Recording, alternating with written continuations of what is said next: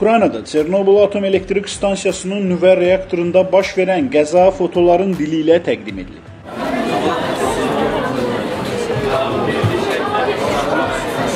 Tanınmış və peşəkar fotoqraf Orxan Əzimin Çernobılda çəkdiyi fotolardan ibarət sərgi çoxsaylı tamaşaçı tələbatı nəzərə alınaraq təkrar keçirilib.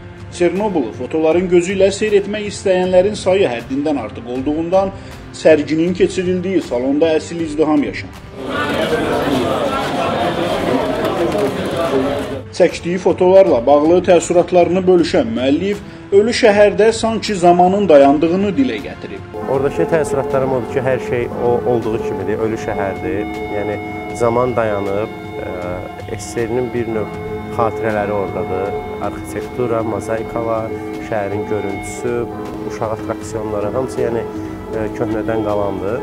Orxan Əzim bir dəfə də olsa imkanı olanları faciə baş verən əraziyə səfər etməyə və hər şeyi öz gözləri ilə görməyə çağırıb. Hamıya tövsiyə eləyirəm ki, kim istəyirsə, yəni bir dəfə də olsa ən azından o mühiti görmək istəyirsə, bir dəfə də olsa ə, səfər eləməlidir, oranı görməlidir. Qeyd edək ki, fotoqraf 2016-cı ildə bütün riskləri nəzərə alaraq Çernobıla səfər edib.